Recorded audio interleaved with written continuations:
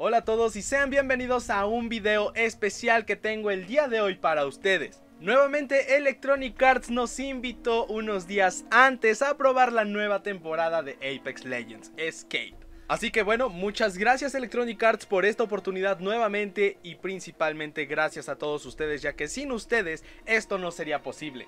En fin, no me quiero enrollar tanto con la introducción, así que vayamos directamente a la información y a todo lo que quieren saber sobre esta nueva temporada. Empecemos hablando sobre Ash. La habilidad táctica de Ash si es como un tipo boomerang que al tener impacto con un enemigo lo engancha al suelo. Esto me recuerda mucho a una de las habilidades del titán Northstar de Titanfall 2. A diferencia de esa habilidad del titán Northstar, la habilidad de Ash también electrocuta al enemigo. Esta habilidad provoca un poquito de daño pero la verdad es que viene muy conveniente en algunas ocasiones. La pasiva solo detecta a los enemigos que mataron a la leyenda de la cual estés escaneando su caja. No entendí muy bien su habilidad, no sé si solo funciona con compañeros de equipo o con los enemigos rivales, pero si no mal recuerdo se puede hacer con todas las cajas que haya en el mapa. Si es que llegas a rastrear a los enemigos, si te muestra en el mapa en donde se ubican. Chance me equivoco, pero esto funciona más bien para rastrear a los que le hicieron daño a la persona que dejó su caja de loot.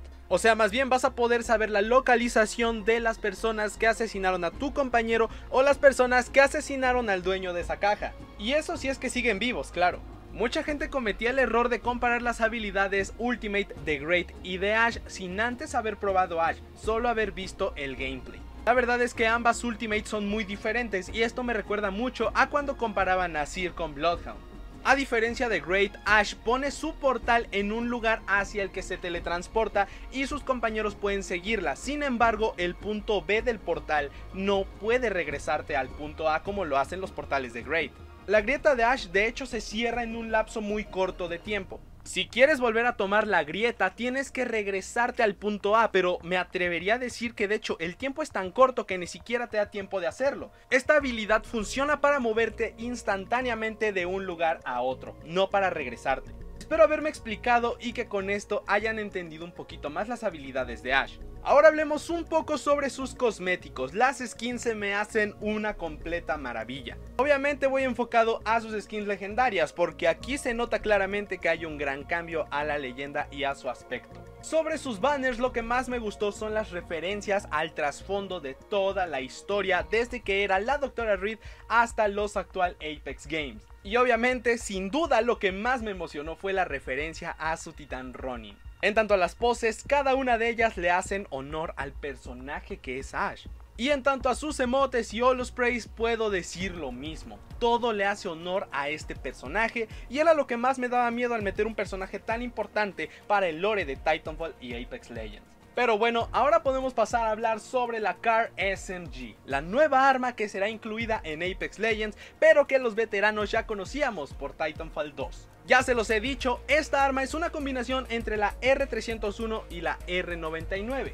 De hecho me gusta apodarla la R400 porque mantiene la precisión de la R301 y la cadencia de la R99. O por lo menos eso era en Titanfall 2. En Apex Legends su retroceso se siente bastante poderoso. A lo mejor es que no estoy acostumbrado a su retroceso, pero sí la sentí bastante diferente a Titanfall 2 y es completamente normal, de alguna forma tenían que nerfearla. La característica especial de esta arma es que puedes cambiar el tipo de munición que utiliza. Esto ya lo saben todos, puedes alternar entre munición ligera y munición pesada. Si es que te llevas la CAR, esta tiene que tener una munición predeterminada y dependiendo de esto, ya tú elegirás si te llevas algún arma ligera o pesada para acompañarla. Esto es lo más recomendable ya que así puedes ir campechaneando la munición y no te vas a quedar corto de munición tan pronto. No es una característica que digas wow, pero pues la verdad es que sí funciona ya al final de las rondas cuando nada más estás piqueando. Ahora hablemos sobre el nuevo mapa, Stormpoint. No sé si fue mi imaginación, a lo mejor mi dimensionalidad no es muy buena, pero creo que este mapa es el más pequeño de todos. Sin embargo, creo que esto se compensa con las prominencias por todo el mapa y los desniveles. No quiero dar tantos spoilers, me gustaría más que ustedes después vengan y me cuenten sus anécdotas en este mapa, pero la verdad me sorprendió mucho la diferencia de altura que hay de una zona a otra. Este mapa cuenta con muchísimas zonas abiertas, pero también se compensan con uno que otro arbolito, roca, etcétera, etcétera. Entonces, bueno, se presta a muchísimas cosas este mapa. Algo más que me gustaría agregar es que creo solo existe un globo en este mapa y se encuentra en la zona más alta. Todo parece indicar que el movimiento a grandes distancias que ya conocíamos con los globos fue sustituido en este mapa por los tridents, por las tirolesas o tirolinas y por los impulsadores. Ahora hablemos sobre el PvE que hay en este mapa. Como lo vimos en trailers, podremos enfrentarnos a Prowlers y arañas. También hay Flyers, pero estos tienen la misma mecánica que en King's Canyon. Las arañas y los Prowlers al ser derrotados también te ayudan con el daño de tu Evo escudo. Te dan loot y la verdad es que no está para nada mal el loot que te sueltan y también te dan metales de fabricación. Algo que me gustaría mencionar es que tengan cuidado con las arañas porque no solo te atacan de cerca, sino también te disparan como bolas de telaraña. Y no estoy seguro, pero también como que te ralentizan o te hacen lo mismo que la habilidad táctica de Ash. No estoy completamente seguro, es algo que como que a lo mejor me imaginé, ya les tocará a ustedes probarlo. Esta mecánica del PvE es exclusiva de este mapa. Ya veremos cómo funciona este sistema de luteo porque la verdad lo veo muy arriesgado. Es hacer mucho ruido, mucho escándalo como para lo que realmente te dan. Pero bueno, ahora pasemos a hablar sobre los cambios importantes en leyendas, armas, etcétera, etcétera. El cambio más importante que pude notar es para Watson, así que familia, todos los main Watson en este momento deben de estar festejando. O tal vez no, ya depende de tu perspectiva. El Trophy System ahora es infinito, pero ya no recarga la vida los escudos ilimitadamente. La vida del piso sirve ahora para llenar los escudos. Una vez se agota, ya no recargará más los escudos. El lado bueno es que el Trophy System, por lo menos para detener las granadas, sí funciona ilimitadamente. Así que bueno, creo que este cambio de una cosa por otra funciona de maravilla. Otro cambio importante es que se ha agregado un nuevo hop-up llamado Dual Shield. Este solo es compatible con la Mastiff. Lo que hace esta mejora para arma es que por cada bala que metes a la escopeta realmente estás metiendo dos, o sea, aumenta la velocidad de recarga. En lo personal siento que este hop-up sí está algo desequilibrado, pero bueno, ya se verá a futuro si es que lo llegan a nerfear o a de plano quitar del juego. Otro cambio importante es que la Triple Take dejará de ser arma de rareza Heirloom y regresará al piso. Esta arma, al igual que la Peacekeeper, mantiene el efecto permanente del choke.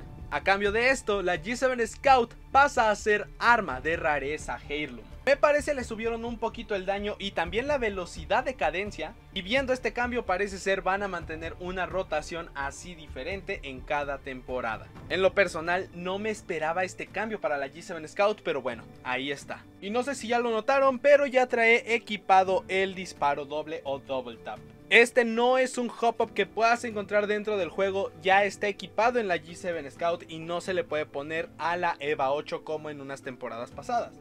Ahora pasaré a hablar un poco sobre el contenido del pase de batalla. En tanto a mis gustos, este pase de batalla no es el mejor que ha habido, sin embargo, sí le falta mucho a esta comparación de otros. De momento no puedo mostrarles el pase de batalla porque fueron las indicaciones que nos dieron, pero sí puedo contarles que viene una skin legendaria para Mirage, para Gibraltar y como ya lo saben, la skin evolutiva de nivel 100 y 110 es la de la Prowler. Viene lo normal, lo único que sí me enfada un poco es que no hay ningún skydive para Ash, por lo menos en este pase de batalla, así que creo que se lo guardaron para el próximo evento que se venga dentro de Apex Legends. Hay un skydive, si no mal recuerdo, es para Valkyrie, uno que otro All Spray, lo normal, paquetes Apex, metales de fabricación, trackers especiales de la temporada, etcétera, etcétera, pero pues la verdad no son la gran cosa. Debo admitir, de todas las cosas que hay dentro del pase de batalla, me gustó mucho la skin que hay para Gibraltar. En tanto a los cómics, regresa la versión de plática que teníamos en la temporada 5 con los quests o las misiones, solo que pues sin las misiones. Es muy probable que vengan más misiones especiales como las que hubo para Bloodhound durante la temporada 10. Y bueno chicos, de momento es todo por mi parte, espero que este video les haya gustado, les haya entretenido y más que nada les haya informado, ya que ese es el principal objetivo de esta clase de videos. Repito una vez más, muchas gracias a todos por su apoyo, por su amor, ya que gracias a ustedes es posible esto. Esperen algo de contenido sobre la nueva temporada porque grabé bastantes cositas, así que a lo mejor les interesa.